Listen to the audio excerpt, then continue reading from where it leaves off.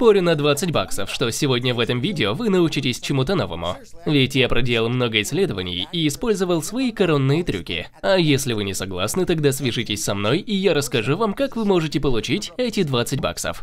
Первое, используйте маркер, чтобы закрасить потертости на черной обуви. Конечно, не стоит так постоянно делать, но если вы в путешествии и у вас нет под рукой крема для обуви, а если вы зацепили носок на туфлях и эта царапина никуда не денется, то маркер вам поможет. Им можно также освежить и подошву. Конечно, я бы предпочел специальный роллер, но маркер тоже сойдет.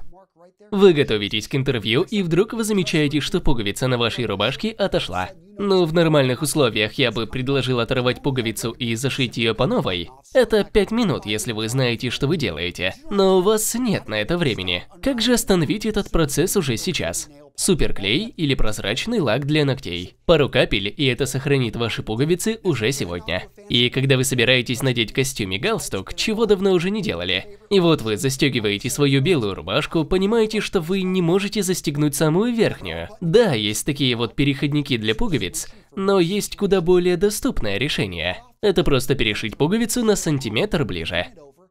Итак, вы идете к своему двоюродному брату на свадьбу, а на костюме полно складок. Как от них избавиться? Пар, конечно, лучшее решение. Но что, если у вас есть только утюг? Тогда вы смотрите на дно утюга и считаете, сколько в нем отверстий. Вам нужно как можно больше. Как у этого, у меня в руке. У него отличный отпариватель. Он может работать сам как парогенератор.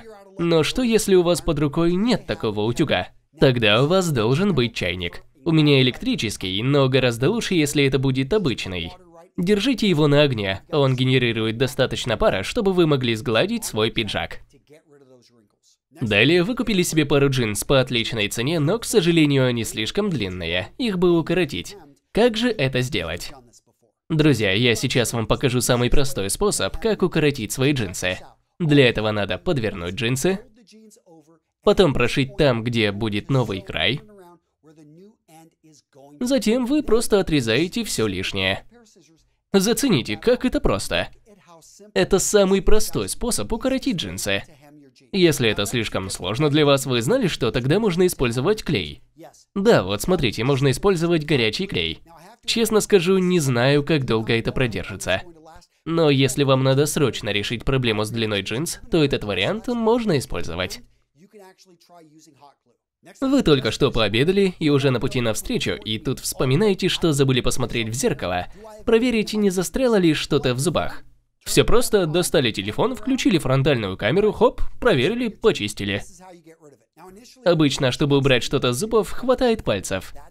Но если нет, тогда можно использовать карту или кусочек бумаги. Итак, вы готовитесь к интервью.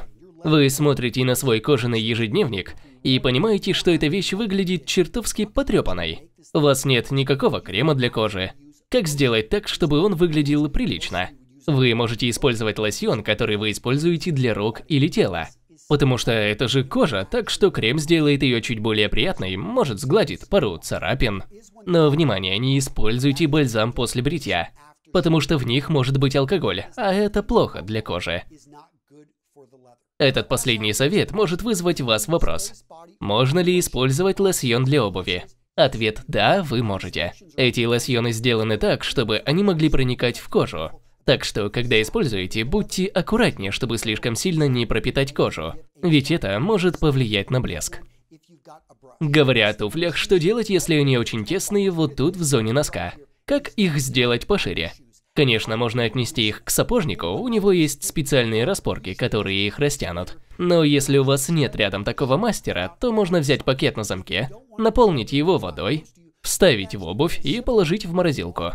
Когда вода замерзнет, лед слегка расширится и туфли немного растянутся. Далее поговорим о вашей любимой рубашке. Вы купили ее себе 5 лет назад. Очень редкий рисунок. И тут вы замечаете, что на воротнике пятна, а на рукавах дырки. В общем, вы расстроились, потому что ее уже просто надо выбросить. Или все же можно что-то придумать. Но есть такая опция, что вы можете починить воротник или манжеты, используя лишнюю ткань с нижнего края рубашки.